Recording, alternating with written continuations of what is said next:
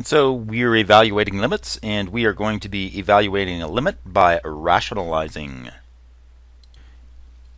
And so here's our example. The square root of x plus 4 minus 2 over x. We are trying to find the limit as x goes to 0. And when you substitute a 0 in for x, right away you get the square root of 4 minus 2, which is 0 over 0 and we just cannot have that. 0 over 0, that's bad. Okay, but what we can do is rationalize the numerator. We can do that by multiplying by the conjugate. If we multiply the top by the conjugate, we have to multiply the bottom by the conjugate. What we'll end up with is a new function that is basically an equivalent form, but hopefully has a limit that we can evaluate when x is equal to 0. Okay, so let's do this. We know when we multiply by the conjugate, we end up with this expression in the numerator. The denominator remains the same.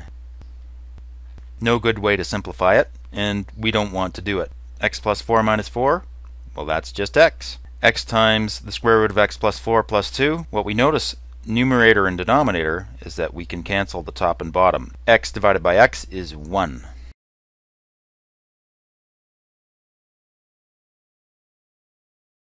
Now, what I see is that I can actually substitute a 0 in for x, and this is no longer going to be of the form 0 over 0.